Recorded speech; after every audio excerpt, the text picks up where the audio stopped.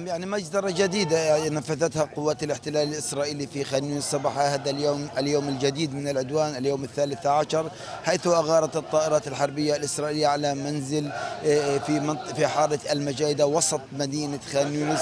هذا القصف أدى إلى تدمير عدد كبير من المنازل في ما, المنطقة. ما هذه هناك الهتافات؟ تدمير منازل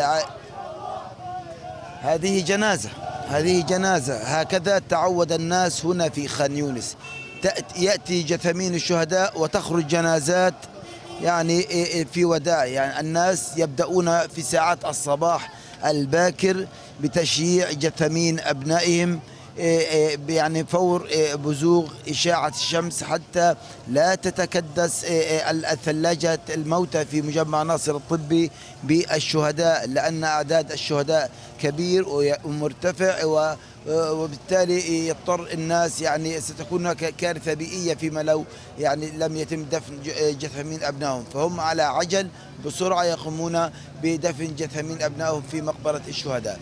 يعني هذه المجزرة الجديدة هي اعتدنا في خان يونس هنا منذ بداية هذه الحرب المجنونة التي تشنها إسرائيل أن نستيقظ كل يوم صباح على مجزرة جديدة على مجزرة مروعة تنفذها الطائرات الحربية الإسرائيلية في محافظات خان يونس وكل محافظات قطاع غزة. هذا الصباح هذه المجزرة المروعة وقعت في وسط المدينة. هذه المدينة هي يعني قلب مدينة خان يونس النابض ال ال ال ال ال الوسط ال الذي تعج به المئات من المحال التجارية والمنشآت الاقتصادي- الاقتصادية ضربت فهدمت أكثر من ستة منازل في هذه المنطقة. لعائلات مختلفة. حتى اللحظة لا نعلم بالضبط ما الذي ضرب آه، أي بناية ضربت. لأننا يعني هناك عمارات وأبنية ومنازل تعود عائلة البطة والسيقلي والمجايدة واللحام وفارس. جميعها دمرت في هذه المنطقة.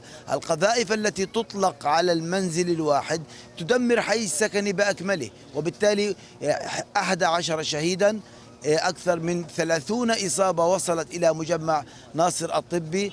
الدفاع المدني سيارات الإسعاف تعمل بوتيرة عالية جدا في هذه المنطقة التي دمرت فوق رؤوس ساكنيها من أجل إنقاذ ما يمكن إنقاذه من الضحايا ومن المواطنين الذين لا زال عدد كبير منهم عالقين في هذه المنازل أو تحت أنقاذ هذه المنازل المدمرة.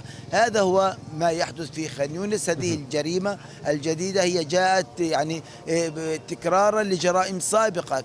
في ساعات قبل ساعات كان هناك جريمة في مدرسة إيواء للاجئين تابعة للأونروا حيث استشهد خمسة مواطنين وأصيب خمسة وأربعون آخرين عندما قصفت طائرة إسرائيلية مركز الإيواء من الداخل. ليس- ليستشهد خمسة فلسطينيين ويصاب عشرات آخرين خمسة وأربعون إصابة.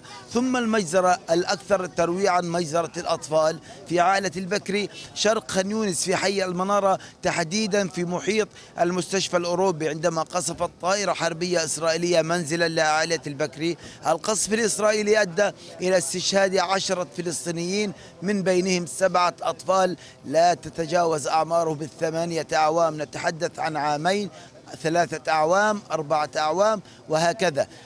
بالإضافة إلى استشهاد ثلاثة نساء استشهاد ثلاثة نساء أخريات خلال هذه الغارة ال- المميتة القاتلة التي شنها الطيران الحربي الإسرائيلي على خان يونس. هكذا آخر هي آخر ثلاث غارات على خان يونس. هكذا وصفها هي غارات قاتلة مميتة عشرات الشهداء من الأطفال ومن النساء.